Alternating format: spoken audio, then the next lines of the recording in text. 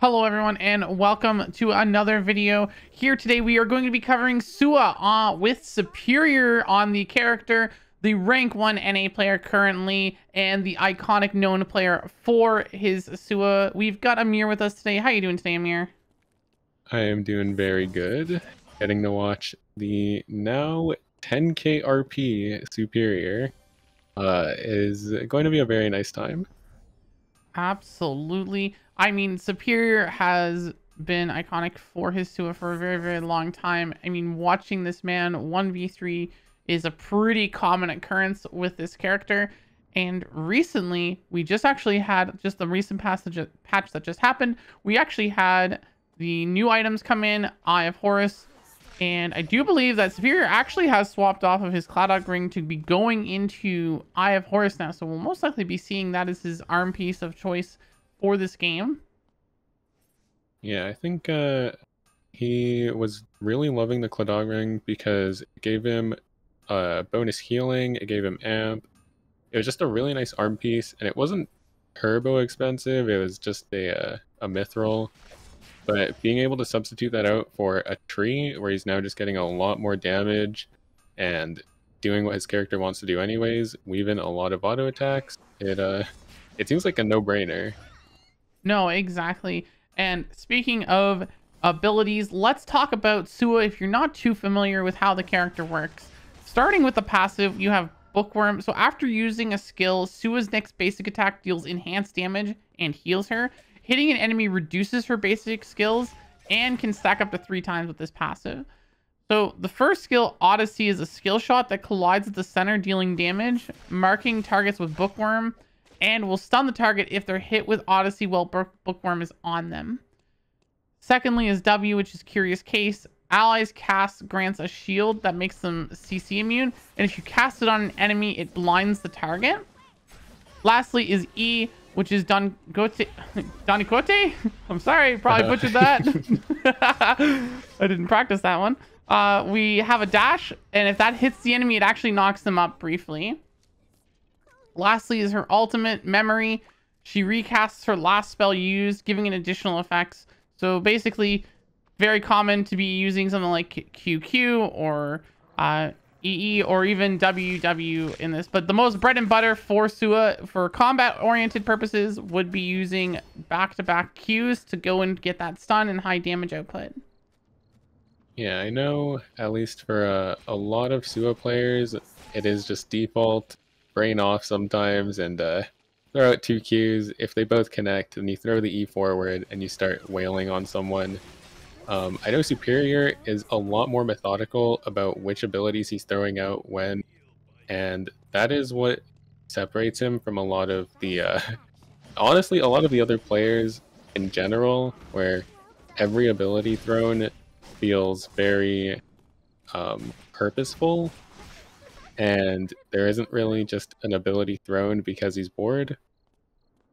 So it's going to be a very nice thing to watch here, and I also know that uh, with uh, with his ease, he is very well known for just eing forward um, for fun because he knows that he will win the fight. Just e forward, e again, maybe start smacking some people around, and uh, I think we will hopefully see some of that this game. No, exactly. And I mean, talking about like you mentioned, there was Superior being very methodical with his buttons. It's so true. Like I mentioned, normally pressing your Q, uh, QR is a very common occurrence with Sua. It's her bread and butter for a lot of players. And Superior definitely does that. I mean, landing landing Q into your ultimate copy or vice versa, landing that stun is a really great way to deal a ton of damage and also engage for your team. But I've also seen Superior use double E to juggle people up in the air with a knockup, uh, or to gap close to get a lot closer. Uh, I've even seen him use his double W to be able to like CC immune himself, and then his CC immune breaks, and then someone tries to re-CC him, so he CC immunes himself a second time, making sure that that second ability that he was aware of was going to probably come as soon as he lost his first shield uh, is immediately stopped as well. And it looks like we're actually going to be dodging out on this fight below us. We're going to go move over to the wolves.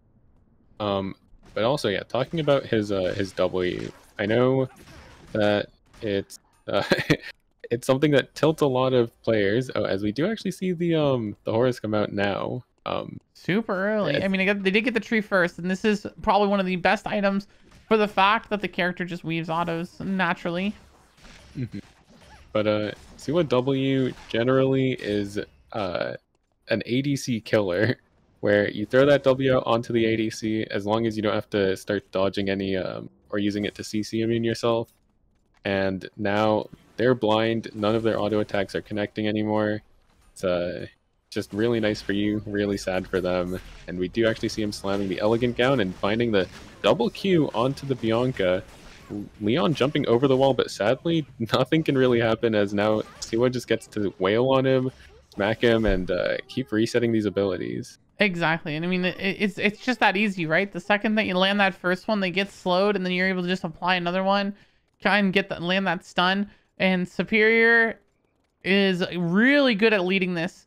One of the things too is because there's a little bit of delay before it lands into the center, which actually marks the target with the hit.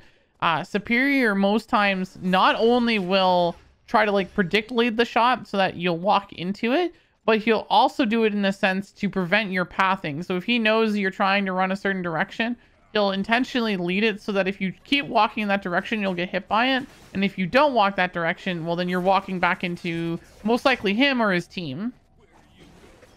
Yeah, and we're actually gonna see him having to duel what, in my opinion, is one of his uh, not worst matchups, but not as favorable. Kenneth. Um, we're gonna see him blink out of the ult though, try and keep healing with his E and weaving in all of these auto attacks, giving him so much health. Throwing these keys right on top of himself as he's bursting two melees. The Duende coming out not enough to actually deny Superior the ability to just keep smacking him. Eating a few more of these drinks as I know he's not running Endorphin. But yeah, abilities now coming back up. Looks like his team has already won the other side of the fight. He's just 1v2ing off in the back, juggling them around, healing, and picking up that mithril for I assume his myth boots. Yeah, And and I I mean, he really likes that defense. Yeah, I mean, plus, I mean, running double mithril here, really, really good defense. Plus, if you notice there, I mean, Superior just made sure that he he spaced out, he dodged core abilities with his blink, made sure that like the enemy team wasn't getting free hits on him. He only let them trade hits when he was ready and he had his abilities up or his passives up to be able to take those trades, which makes him look basically unkillable. When you don't miss abilities on Sua and you can just keep hitting people and you don't let them get a free hit on you, this character has probably the best sustain in the game. Yeah, a lot of players uh, are very mad about Sua, thinking that she is one of the easier characters in the game. But when you watch Superior play, you realize that she can be doing a lot more than she's already doing in some players' games. No, no, no, no. I think it's the other way around. You watch Superior and you, wow, this character's so easy. And then you go to try and play the character and you're like, what the heck? Why am I Wait a not 1v3? Yeah, when uh when you watch Superior, just never to actually be taking free abilities, not taking free auto attacks. Anytime someone's hitting him, he's returning with something, um, either throwing these Qs or finding some way to pressure his opponent. Know it like if he throws his W on himself, then now they have to be scared. I can't throw out, throw out my CC, or maybe now you feel forced to throw out your CC so that your teammate can land theirs, and he's just making sure that his opponent always feels worse off in a fight than himself. It's really nice. It's really nice to see. Think he's actually going to be slamming this meteorite into his uh into his weapon, getting that heal cut. Very nice item of uh pretty sure it is the evening star. Um Yeah, I believe so. Another thing too that I really want to point out here is the efficiency of our resources in this game. So I know a lot of times, uh, I, I shouldn't say a lot of times, but when we normally watch a lot of these games, you'll you'll end up noticing sometimes teams will get like some RNG and that'll help ramp them up in their speed and whatnot. Superior has not gotten a single RNG drop.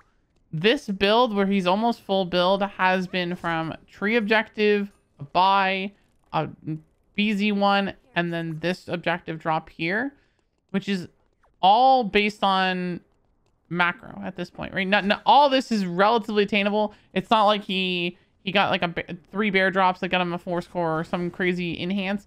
And it really just shows the efficiency that Superior kind of has when it comes to these games of keeping consistency and keeping making sure that he is going to be strong going into these later parts of the game where now that we're on day three, he's ready to basically brawl with any team that wants to try and contest them. Yeah, and speaking of macro, we actually had Superior kind of requesting buys using the uh, emotes, going Charlotte by, and then uh, I forget which please. I think it's the uh, Vanya please. Um, just using emotes to communicate with this team, you know, never really having to open up the chat and just maximizing that emote wheel as well as his macro. Yeah, definitely. I mean, full build Sua, great character. Sua is one of those characters that I, I really, really commonly like to talk about being a stat check character. If she's got higher numbers than you, most times she's going to win the fight just for the simple fact that if you can't out damage her, she's just going to outstat you. So the fact that Superior uh, wants to get these items on him makes a lot of sense so that um, he can able to just basically take on any fight here. And Magnus doesn't really need the stats. I mean, he's got a chess piece. He's already going to be able to just do his job. We really just want to enable Sue as much as possible here. Yeah, and we're going to see instantly a knockup going back onto that Leon, blinking over the wall and just chasing after this Rosie. I don't think she's going to be able to get away as, yeah, we're just auto-attacking, auto-attack.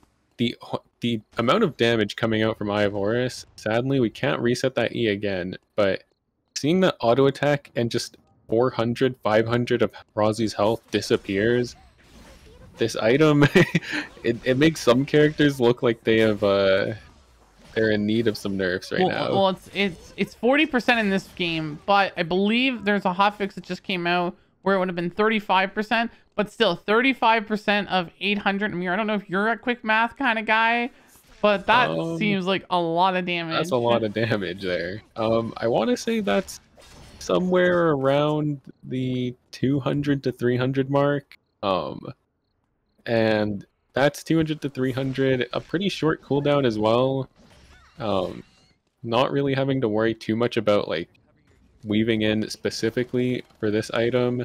It just works on in the background as you're auto attacking anyways, you're casting skills anyways. It's it, feels perfect for characters like this Sua, maybe like the Abigail as we're gonna be fighting as well. Yeah, but like look at this e, damage. Just so much coming out. That auto attack chunking Abigail. Just throwing more abilities, using that E. We have another one coming out in two seconds, but sadly, the uh, Isol is going to be able to escape as he is able to use that invis invisibility yeah. and uh, run away. This is a prime example, though, of what I mean by once Sue is enabled, she can be a very stat checky character. You can see in a lot of Superior's gameplay, once he's got his setup right? Because that's important. You know, he needs to make sure that he's got his setup, like he's able to make sure that his abilities are going to to land. But the second that he has that and he's got his stacks built up, he just blinks in. He tries to just get, he just tries to gap close and get as close as possible to the target. All he has to do at that point, once he's rolling, is get auto attacks off. If he can get auto attacks off and he can keep on top of his target, it's almost impossible to lose the fight.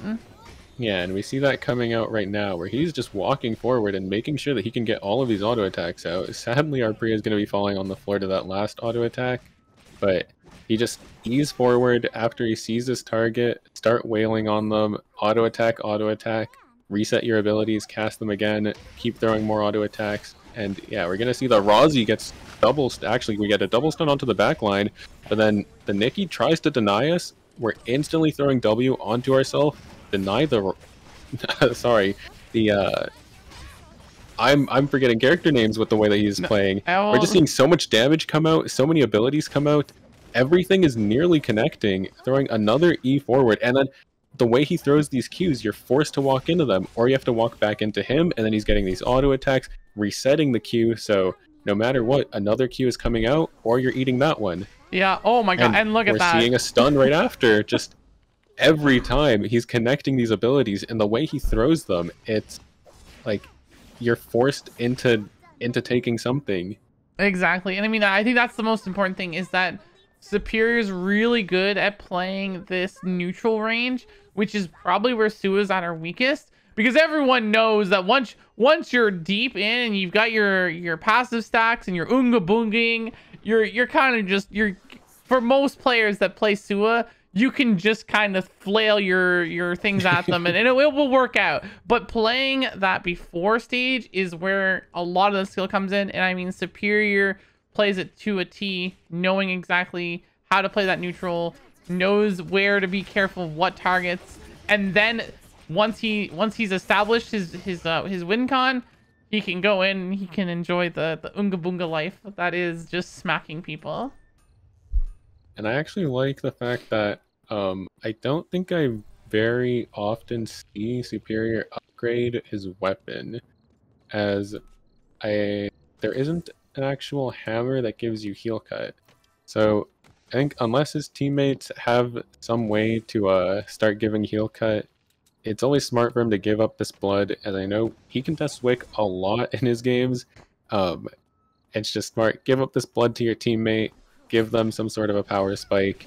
He's already online. Make sure that we can make that. make sure our entire team is uh on equal-ish power level, and then we can just keep taking fights from here. Yeah, I mean, I'd have to watch more of Superior to say this for sure, but it almost feels like just from watching this one game that he really likes to get his own early tempo from his team and then, you know, help his team catch up in the in the mid game because he's so powerful.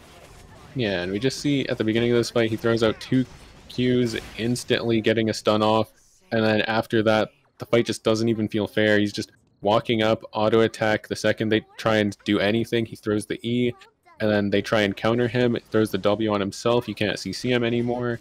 The fight's just when you're this aware of what Sua can do and you're you're paying attention to everything your opponents are doing, it honestly feels like Sue as a character with no counterplay. because you walk up, you try and throw your counter button, Sua says no. You walk up and try and throw another one, Sua says no again. And then you're getting stunned, slowed, knocked up. But realistically, it's just that Superior knows everything that he wants to do, and he's looking at what his opponents want to do, counter what his opponents can do, and then just play the fight from there. Well, yeah, exactly. And I think that's I think that's what makes Sua so strong, right? Her kit allows so many different options and so many different playthroughs. And most times though, you're really you're really only seeing that decision making at that early stage of the fight, right? Right before the fight starts, at neutral or right as the fight starts, where all that heavy decision making happens because everything's happening in a split second. And Superior is really good at identifying that. And as soon as you have that moment, that really just makes her so strong, right? Blocking that danger spell, you know, it's blinding an ADC so they can't hurt your team, catching someone out with a double stun.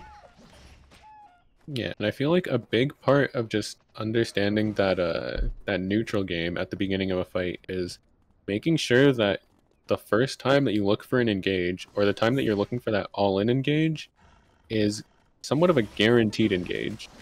Because if you end up throwing your E forward and you don't have that ult to use E again, mm-hmm. then you're kind of just walking back as Sua, and she doesn't have the most movement speed in the world, so that's a lot of the time when she's taking the most damage, or when she's unable to actually start connecting these auto attacks to be healing and resetting a lot of these abilities. And we're actually going to be Eing into the lightning strike, getting bonus movement speed, not something you see often. Using oh, that ult to get another Q, and now we're just right on top of our opponents, getting these auto attacks in. It doesn't matter what our opponents want to do. We're going to be resetting these abilities, and we deny the stun coming out from Nikki. Very unfortunate. I don't them. even think this was a fair game. I don't. I don't think Superior sweated during any fight. He kind of just steamrolled every single fight. I think the closest one was BZ, where he had to dodge a little bit in between his buttons when he had no items yet. But my gosh, that was an incredible display of if you're looking to learn how to play Sua, that is exactly the type of playstyle that you want to learn and develop. I hope you guys really enjoyed the video and we'll see you in the next one.